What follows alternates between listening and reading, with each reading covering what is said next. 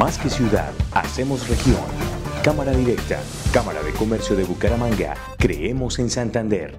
La Cámara de Comercio de Bucaramanga, con el apoyo de la Gobernación de Santander, se encuentra comprometida con el fortalecimiento en la internacionalización de las empresas de la región por medio del programa 770.